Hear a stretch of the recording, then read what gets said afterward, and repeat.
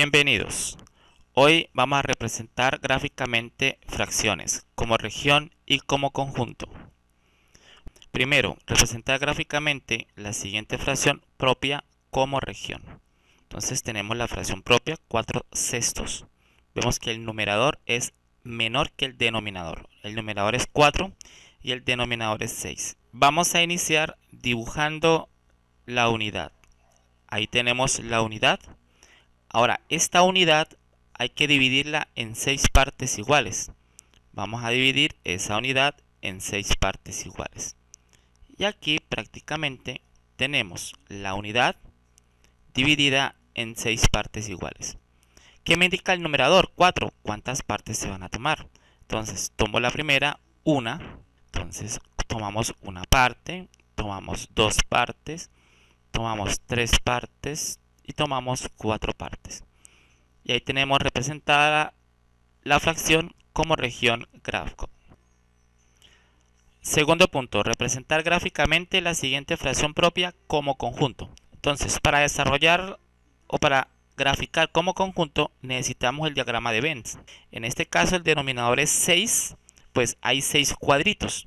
Y estos cuadritos independientemente son los que van a ir dentro del diagrama de Venn. Hay cuatro amarillos porque representa el número que está en el numerador, que son las cantidades que se van a tomar. Hay 6 porque es la cantidad que indica el denominador. Y se organizan dentro del diagrama de Venn. Y ahí están organizados y representados como conjunto. Ejemplo 3. Representar gráficamente la siguiente fracción impropia como región. Como es impropia, vemos que el numerador es mayor que el denominador. Y como el denominador indica las partes en que se divide la unidad, para este ejemplo necesitamos dos unidades. El denominador es un 4. Eso quiere decir que se debe dividir la unidad, cada unidad, entre 4. Estando la unidad dividida, se toman la cantidad de cuadritos según el número que está en el numerador. En este caso es el 5. Contamos 1, 2, 3, 4 y 5. Y ahí está representada gráficamente la fracción impropia 5 cuartos como región. Cuarto ejemplo, representar gráficamente la siguiente fracción impropia como conjunto. Entonces tenemos 5 cuartos. El numerador es mayor que el denominador. El denominador es 4. Pues hago 4 imágenes. En este caso un cuadrado. Pero como el numerador es 5 y debo dibujar o colorear 5 imágenes o 5 formas, no me alcanza. Por eso hay que organizar otro grupo de 4 imágenes. En este caso tenemos un grupito de 8 imágenes de las cuales vamos a tomar 5 y coloreamos de diferente color. Luego este grupo de imágenes los vamos a llevar al diagrama de Venn, que ya está listo, ya está dibujado. Entonces llevamos el primero.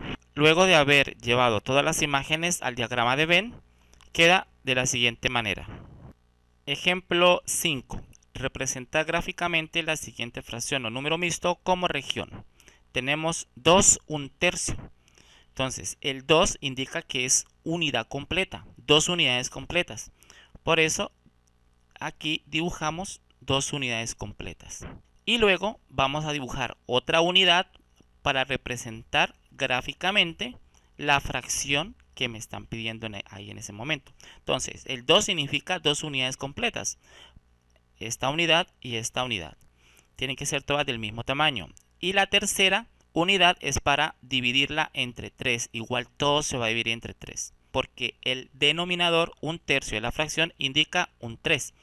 Por eso vamos a dividir cada fracción en tres partes iguales. Ya teniendo las tres unidades divididas en 3 porque el denominador es 3, me dice que hay dos unidades enteras que la está tomando.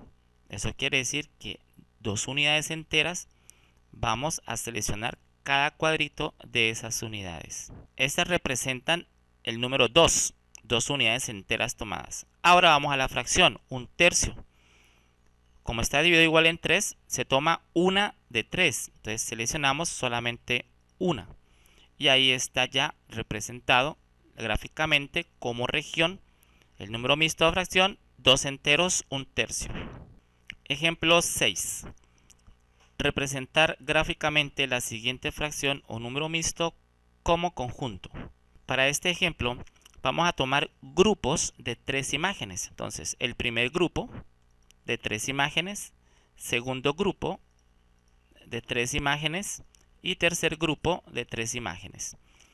¿Por qué? Porque me dicen que debo tomar dos grupos, dos grupos de tres imágenes y por eso están seleccionados y coloreados ya estos elementos.